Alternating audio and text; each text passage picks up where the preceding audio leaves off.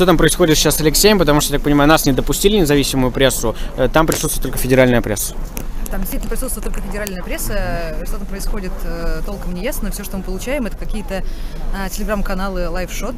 А, якобы МВД запросила 30 суток э, для Алексея, при том, что суд у него должен быть 29 января, поэтому 30 суток довольно абсурдно звучит. И причем здесь вообще МВД не ясно, учитывая, что по решению ФСИН а, его вчера задержали.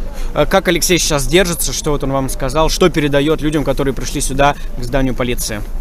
Алексей держится отлично, он ничего не боится, призывает никого не бояться. Спасибо, спасибо.